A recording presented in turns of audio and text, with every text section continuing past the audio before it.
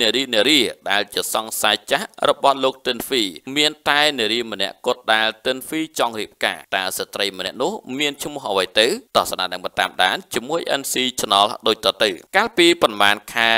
ក្រោយមកនេះឃើញថាលោក Step Hand Chow ដែលទស្សនិកជននិយមស្គាល់ឈ្មោះក្រៅហៅថាទិនហ្វីកំពុងតែ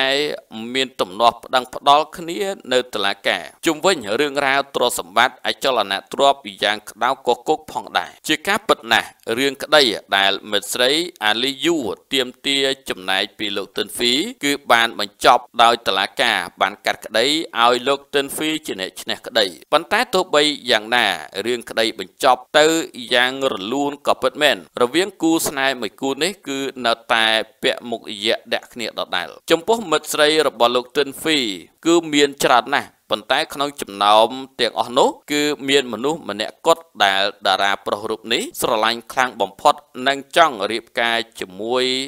នាងជាងគេនោះគឺជាដៃគូសម្ដែងភាពយន្តមេធាវីឆ្នាំ1997តែម្ដងដល់ឡែកបកត្រឡប់ទៅអតីតកាលវិញ ការរ៉ិនមកគឺជាមនុស្សតែម្នាក់គត់ដែលអាចនិយាយថាលោកទិនហ្វីស្រឡាញ់ខ្លាំងបំផុតក្នុងចំណោមសង្សារចាស់ទាំងអស់របស់លោកសូម្បីតែម្ដាយរបស់ទិនហ្វីក៏បាន ពេញចិត្តនឹងនាងខ្លាំងណាស់ដែរដោយសារតែអកប្បកិរិយាទន់ភ្លន់ចេះគោរពអ្នកដតីនិងអត្តចរិតស្មោះត្រង់របស់តារាស្រីរូបនេះតែម្ដងប៉ុន្តែចំណងស្នេហាក៏មិនអាចបន្តទៅមុខទៀតបាន ដោយសារតែពួកគេ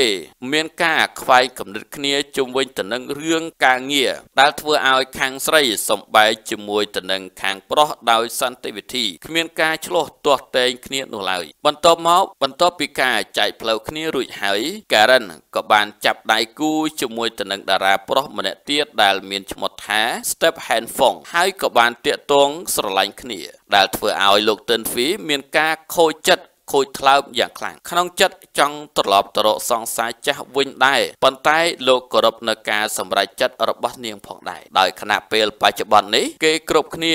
សុទ្ធតែមានគ្រួសារអស់ទៅហើយនៅឡើយសល់តែទិនហ្វីដែលនៅតែមិនយកប្រពន្ធរហូតមកដល់សពថ្ងៃនេះក្នុងពេលសពថ្ងៃនេះបើទោះបីជាទិនហ្វីបានចែកផ្លូវជាមួយទៅនឹងការ៉ិនមកច្រើនឆ្នាំក៏ពិតមែនប៉ុន្តែពួកគេនៅតែរាប់អានគ្នាក្នុងនាមជាមិត្តភ័ក្តិល្អនឹងគ្នាផងដែរមហាជនបានសួរថាលោកទិនហ្វីមិនរៀបការមិនយកប្រពន្ធប្រហែលជា